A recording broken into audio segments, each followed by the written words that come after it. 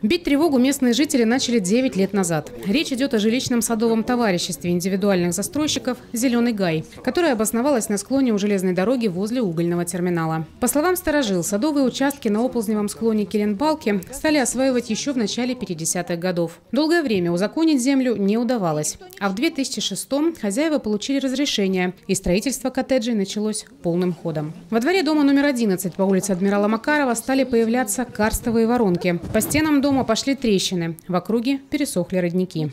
Район такой, что здесь подземный город, здесь все испещрено. Здесь нельзя вообще ничего трогать. А это а, э, предмет архитектуры нашего Макарова.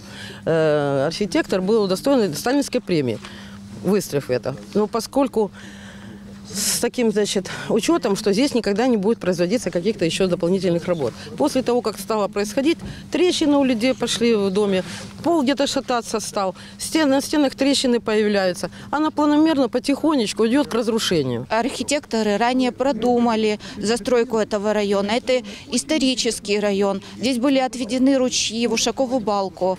Однако же на выделенных участках там были э, каптажная система, которая именно и отводила ручьи в Ушакову балку. Но хозяева этих участков, они как бы посчитали это своей собственностью, выкорчивали, очевидно. И теперь вот эти вот воды, они гуляют под нашими домами, вымывая карстовые провалы э, и мокнут у нас подъезды. После очередного обрушения породы жители с жалобой обратились в чрезвычайное ведомство.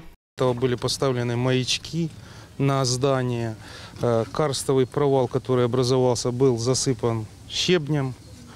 И был, значит, департаменту городского хозяйства управляющей компании, департаментом городского хозяйства управляющей компании была поставлена задача наблюдать за состоянием э, жилых зданий и за данными оползневыми процессами, которые наблюдаются здесь.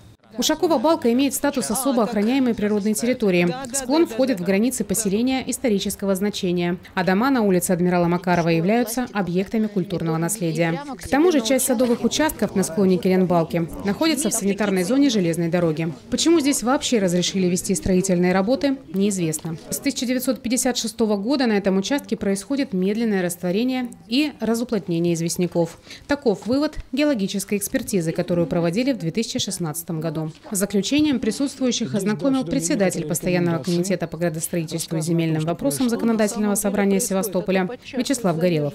Это результат анализа некоторого, который был сделан государственным унитарным предприятием Республики Крым, Крым геология. Выводы.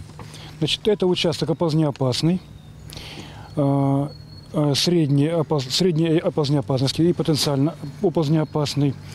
Далее здесь рассказано о том, что Э, э, нарушение стока подводных вод могут привести к развитию опознанных деформаций. С вводом в эксплуатацию Крымского моста Севастопольская железная дорога снова начнет функционировать в полную силу. Нагрузка на этот участок возрастет в разы. Грунт здесь состоит из нескольких рыхлых пород, которые могут дать смещение по всему склону. Дорога уже деформировалась. Я так понимаю, что это следующий шаг – активизировать нашу прокуратуру в части детального рассмотрения той ситуации, которая здесь возникла.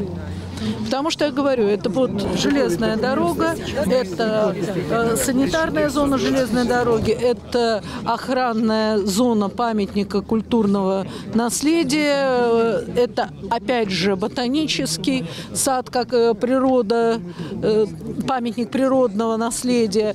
Так что вот с этих позиций, наверное, и будем действовать. Ксения Богинская, Севинформбюро.